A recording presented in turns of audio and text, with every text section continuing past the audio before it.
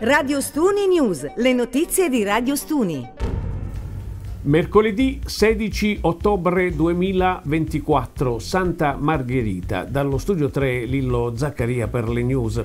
Ieri mattina, poco dopo le 11.30, una donna di 92 anni di Ostuni è stata investita da un camion in via Avvocato Donato Cirignola, nei pressi del rondò che conduce alla chiesa della Madonna del Pozzo.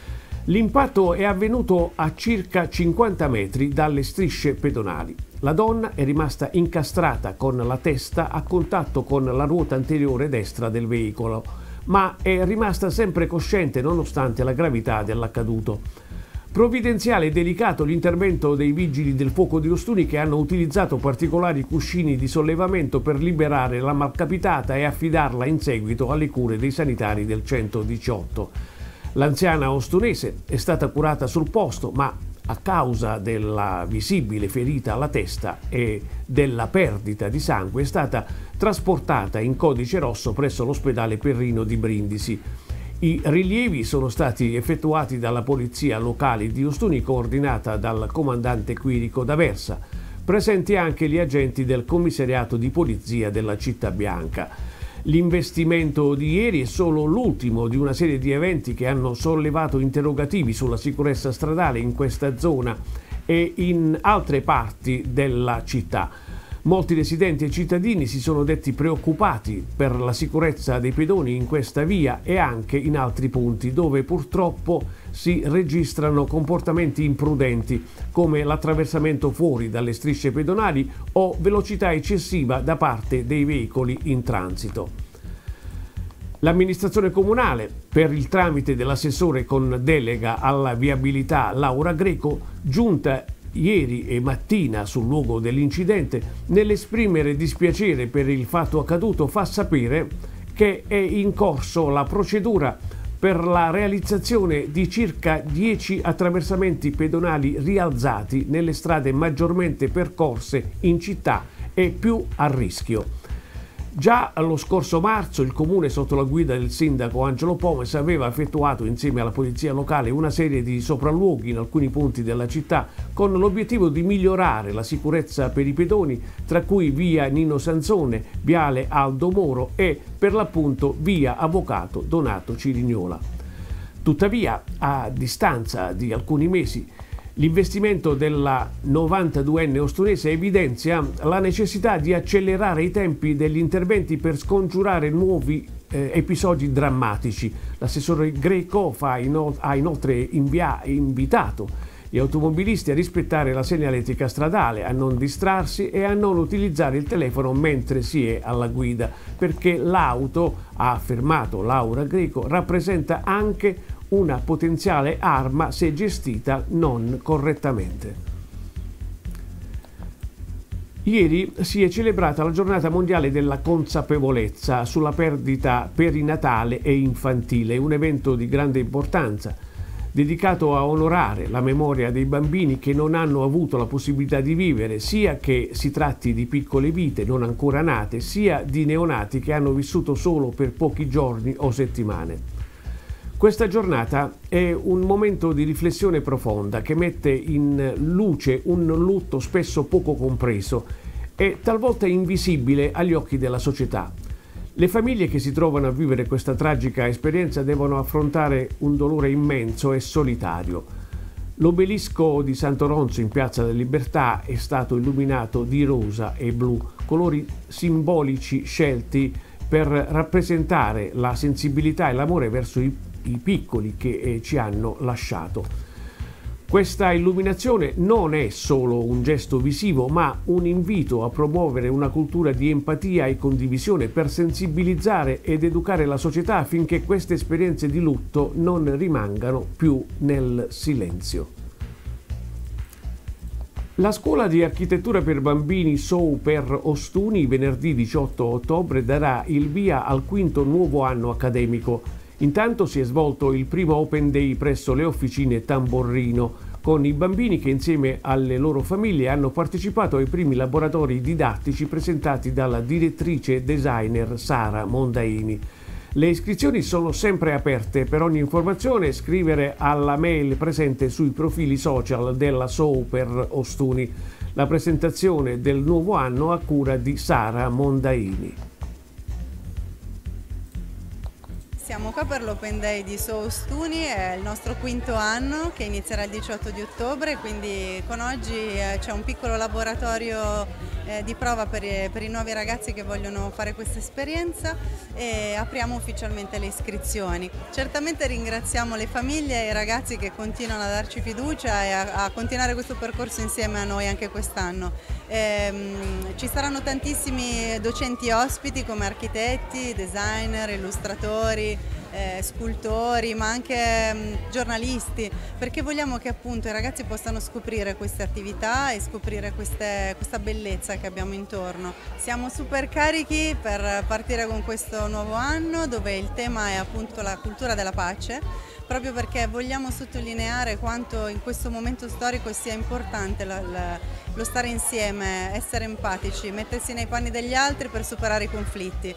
Quindi lo faremo insieme ai ragazzi, dandogli la possibilità di ragionare e capire come lo spazio intorno a noi possa aiutarci a superare queste difficoltà. Quindi ringrazio comunque anche le officine Tamborrino che ci ospitano eh, nella loro casa e vi aspettiamo. La UGL Salute di Brindisi esprime preoccupazione per la situazione critica dei servizi di front office dell'ASL di Brindisi, aggravata dall'uso improprio delle risorse e dalla mancanza di materiale di consumo. Il segretario provinciale Alessandro Galizia denuncia la chiusura di sportelli e il funzionamento ridotto di postazioni, come quelle del poliambulatorio di San Pietro Vernotico, Fasano e dell'ospedale di Ostuni, operative solo al 50%. Galizia critica la disorganizzazione e sollecita interventi urgenti per garantire un servizio efficiente e adeguato all'utenza. Il progetto di inclusione sociale Le Orecchiette che vorrei sbarca al G7 per le disabilità ora in corso ad Assisi. Un'importante opportunità per i ragazzi autistici coinvolti nel progetto che avranno l'opportunità di interagire con i ministri dei sette grandi del mondo. Tra questi il ministro italiano Alessandra Locatelli che ha già espresso parole di encomio.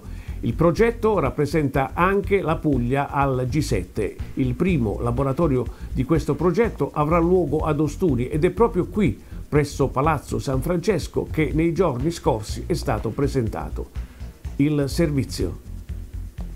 Sì, mi sta piacendo il progetto, eh, stiamo imparando a fare le orecchiette ed è un'esperienza davvero bella. Stiamo facendo molte amicizie.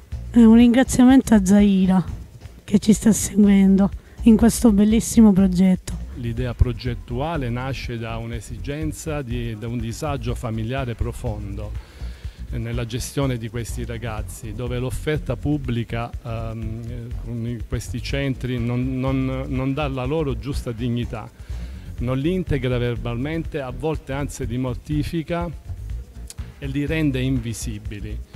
Io con questa esperienza che ho vissuto ho voluto un attimo dare un taglio differente, per cui ehm, ho immaginato di creare dei laboratori dove produciamo pasta, quindi loro diventano i protagonisti, i veri attori. Sto vedendo una vera attenzione intorno a questa attività da parte anche delle istituzioni, questo mi gratifica e mi onora. Ho sposato in pieno questo progetto Iuri che daremo inclusione ai ragazzi autistici per cui un grande aiuto alle famiglie. Siamo qui oggi per testimoniare alla città di Ostuni quello che stiamo facendo su questa propria città perché la prima sede e la sede dove i ragazzi lavorano è proprio qui ad Ostuni per cui onore al sindaco che ci ha permesso di stare qui questa mattina e vogliamo far conoscere a, veramente a tutto il mondo a questo punto perché ci stiamo prefissando degli obiettivi internazionali a tutto il mondo quello che questi ragazzi sono capaci di realizzare. Un ringraziamento anche alle famiglie perché le famiglie di questi ragazzi credono in noi e piano piano faremo conoscere tutto quello che di buono faranno questi ragazzi sul territorio.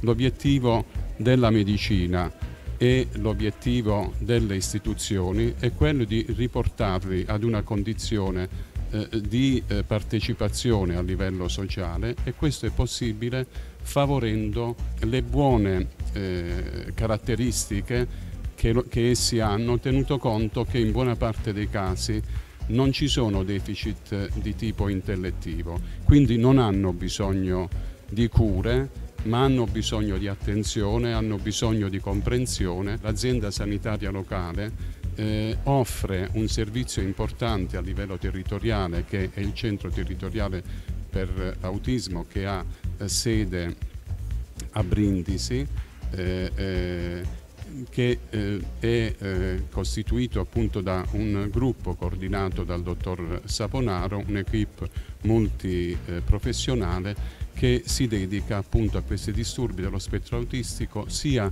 nei, nei ragazzi, nei giovani che negli adulti con l'obiettivo di garantire una vita migliore a questi nostri amici. Il progetto è sicuramente un progetto importantissimo perché è un progetto di inclusione e dà ai ragazzi con lo spettro autistico una possibilità di lavorare, di, di acquisire competenze e di avere anche un'autonomia sia economica che di, di, movimento. La regione Puglia eh, diciamo, prende con favore sia la regione che l'AS questo, questo tipo di iniziativa e non può fare altro che diciamo, eh, essere contenta che ci sono persone che mettono i propri, il proprio tempo, il proprio lavoro a disposizione di chi ha bisogno. La farmacia Santoro effettua quest'oggi il servizio pomeridiano e notturno. Meteo giornata con tempo variabile, venti di tramontana, temperature in diminuzione, mare mosso. Citazione odierna. Fate attenzione ad essere troppo disponibili, dopo scatta la pretesa, non la riconoscenza. Grazie per aver preferito la nostra informazione.